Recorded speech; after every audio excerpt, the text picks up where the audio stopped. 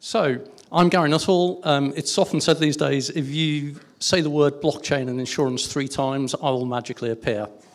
Uh, because I've been fascinated by both the insurance industry for many years and blockchain and what's going to happen when we bring it together. So, just before we start, um, quick question from the audience who actually works in insurance here? Most of you, okay. And how many of you are employed by insurance? Is it the rest of you and you don't actually work? Okay. Right, and who, who are the technical people? Okay, a few. And who has shares? ISAs? Pensions? Okay. Who's got crypto? That's interesting. So over half of you have got cryptocurrency, and it looked like about a third to a quarter of you have got pensions or ISAs. So I'll try and tailor this accordingly in some way. Uh, if we go on to the next slide. So some news, first of all. Um, London insurance market, you know, it, it's got proud history, over 300 years old. The two major things that have been happening of late is last year they banned drinking alcohol during the day, which is very sad indeed. Um, but the most important thing was the announcement earlier on this week that they have decided to adopt computers. So at long last, uh, the London insurance market is joining us in the 20th century. And so the hope is that using blockchain will bring them into the 21st century. So go on to the next slide. Um, that's not actually to be critical about them because having worked as Seb says in the insurance market with Lloyds and so on, I know just how challenging it is to get people to change their processes and a lot of their systems are paper-based. You know, and th this is the thing that where I've spoken with startups who are saying, oh yeah, we're doing AI or we're doing blockchain, it's going to revolutionize insurance. You say, well, how's that going to work with paper policies? And they go, sorry, what do you mean paper policies? It's like, well, most policies are written on paper. 80% of business in London is renewal based, and so it's just on paper, on paper. So the really good thing about the announcement earlier on this week from Inga Beale, in all due credit, is the very fact that it is digitizing this marketplace at last actually means that we can do things like use blockchain and so on. So we go on to the next slide. So blockchain, who knows about blockchain already? Hands up. Okay, so for those who didn't put their hands up, if you still don't understand what I was talking about afterwards, go and seek someone who held their hand up before, and they can explain it in a different way to you. The way I describe it, it it's, a, it's a protocol. A protocol is simply a way of doing stuff. It's how you transact in business or social or technology. See, we've now got the hand movements as well. That's really good. And if we, if we look at three other three protocols that have happened over the years, and I know the techie people get really, really bored by this, but who knows what TCP/IP is?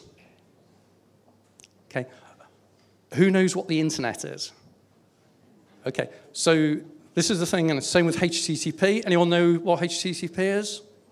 A few. Who knows what the World Wide Web is? Loads, yeah. So this is a key thing about blockchain. It's a protocol that in a few years, no one will even think about. They'll just be using it as a matter of course. So if we go on to the next slide, in fact, so yeah, it's the internet, it's the World Wide Web, and it's what's also known as a distributed ledger for blockchain. Going on to the next slide, the, the three evolutions there is that the internet allowed us to share data. And then the World Wide Web allows us to share information. The transformational thing about blockchain is it allows us to transfer value. So not copy value, but actually transfer it without an intermediary. So, you know, people go, well, I can do that with PayPal at the moment.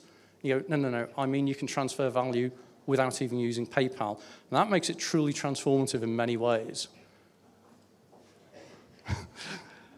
so in 2008, coming up to the 10th anniversary now, there was this mystical figure, Satoshi Nakamoto, he, they, she, whatever, produced a paper, and it was the beginning of the, the blockchain protocol where they were talking about a new electronic payment system that, you know, effectively it was a kickback against the banks in 2008, where there been the crisis and so on.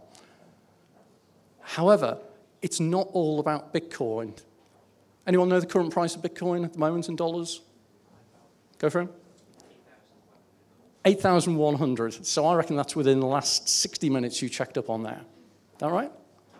Maybe, yeah. So but Bitcoin's really fascinating because it raises a lot of publicity, gets a lot of promotion, you see it in the news a lot. But But good enough, more and more now, press people are beginning to say Bitcoin, oh, and the underlying protocol blockchain. And so it's getting a bit of press on there.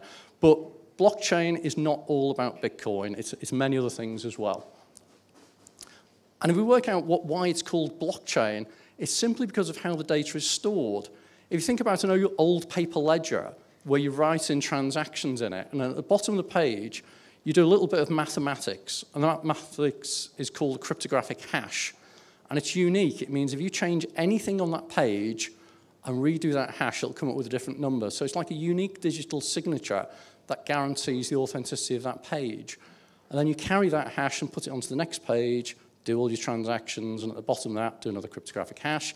And all this means is that you're building up blocks of data which are chained together, hence the phrase blockchain. Everyone feel a little bit easier about that now? Good. Go on to the next slide. What we also do is, as well as having this ledger where it's all, everything's chained together, is we give everybody involved a complete copy of it. Now, this does vary from blockchain protocol to blockchain protocol. Um, but with the traditional ones, the, the early ones, this is certainly the way it works. So it means that everyone has got an identical copy.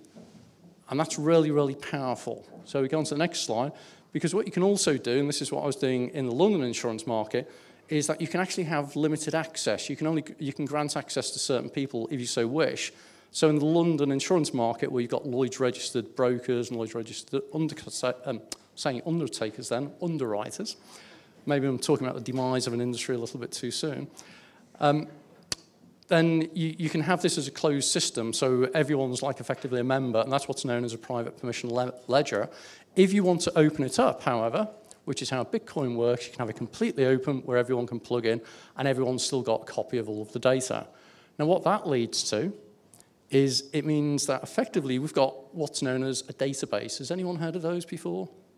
Yeah, it's nothing new really. And this is the awesome thing about blockchain. Blockchain actually is nothing new. It's just a recombination of existing technologies such as databases, such as cryptography and, and security and so on.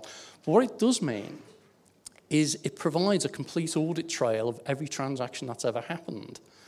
And the really powerful thing, you know I said that everyone has a copy of exactly the same thing. What that then means is that I know that you know that I know that everything's the same that they can see and I can see. And that, that's remarkably powerful when you actually think it through because it stops fraud and it stops people trying to fiddle the system.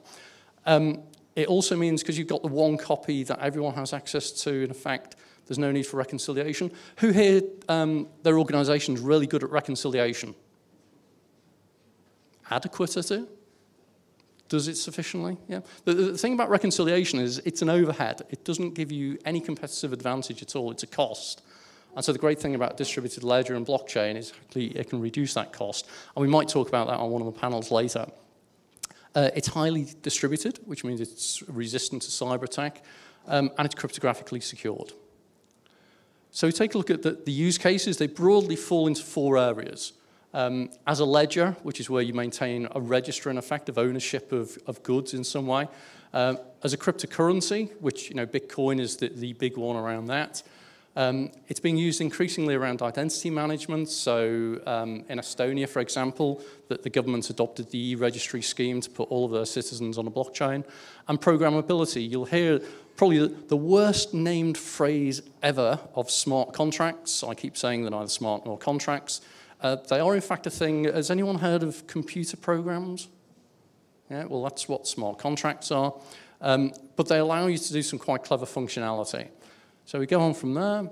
Um, to close this down, you know, how does this apply to insurance? Well, here's just some of the examples of what's going on in the insurance marketplace at the moment, where there's a whole number of companies, you know, we've got um, the big players like Allianz, like Mayer, Maersk, uh, sorry, Amlin, Catlin, and so on, and we've got a couple of people from the panels on that later as well. There's a whole number of insurance companies who are already exploring this technology and beginning to deploy it. So with that, I think that's the last slide. Unless there are any questions, I'll hand on to the next person. Great. Well, thank you for your time.